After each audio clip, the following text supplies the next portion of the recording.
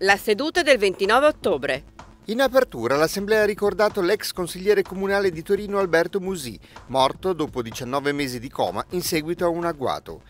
Il Consiglio regionale ha poi approvato il piano triennale per l'istruzione, con l'apertura alla collaborazione con i privati per interventi di costruzione e ristrutturazione degli edifici scolastici.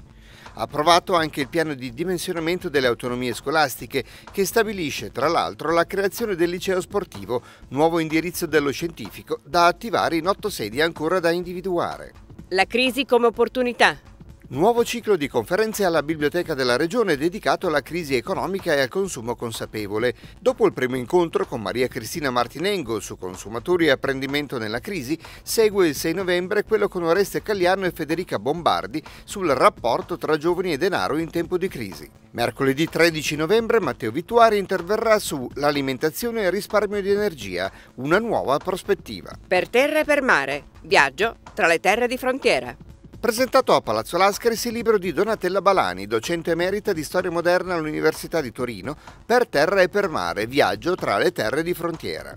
Alla presentazione del libro, promossa dal Consiglio regionale del Piemonte in collaborazione con la Fondazione Firpo e il Centro Gianni Oberto, sono intervenuti con l'autrice i docenti Dino Carpanetto, Gian Savino Penevidari e Claudio Rosso. Concorsi per studenti. La trentesima edizione del concorso scolastico della Consulta europea è dedicato all'anniversario della Prima Guerra Mondiale, alle elezioni del Parlamento europeo del 2014 e all'anno della conciliazione. Il termine per la presentazione dei temi o dei video è il 20 gennaio 2014.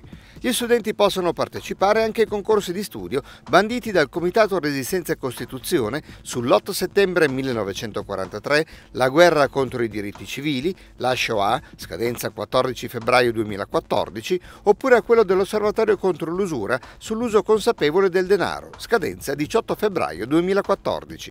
Meridionali e Resistenza.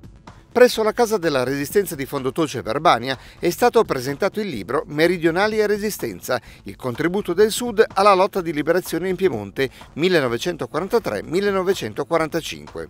La pubblicazione vuole avviare un percorso di approfondimento sulle vicende individuali e collettive dei tanti italiani che, provenienti dal Sud, parteciparono alla resistenza in Piemonte dopo l'8 settembre 1943.